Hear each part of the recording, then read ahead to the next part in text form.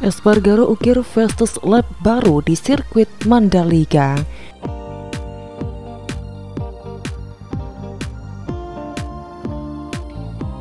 Rekor waktu putaran tercepat di sirkuit Mandalika langsung terlewati pada hari pertama tes MotoGP, Jumat 11 Februari 2022, yang untuk sementara menempatkan pembalap Repsol Honda Paul Espargaro sebagai yang paling kencang.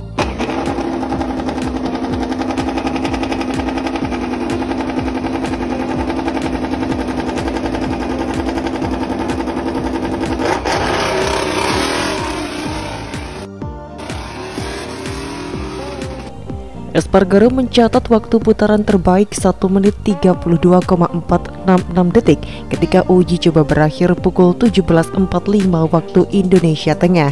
Sebelumnya rekor di Mandalika dicatat oleh pembalap superbike top track Rasgat Lioglu saat kualifikasi 21 November 2021 yaitu 1 menit 32,877 detik. Saat sesi dimulai, pembalap dari tim KTM Racing, Miguel Oliveira sempat bikin kejutan dengan memimpin sesi. Secara bergantian, sesi tes pramusim kali ini sempat dipimpin oleh beberapa pembalap seperti Hirin, Fabio Quartararo, Johan Zerko, dan lainnya. Tetapi pada akhirnya pembalap dari tim Repsol Honda Paul Espargaro keluar jadi yang paling cepat.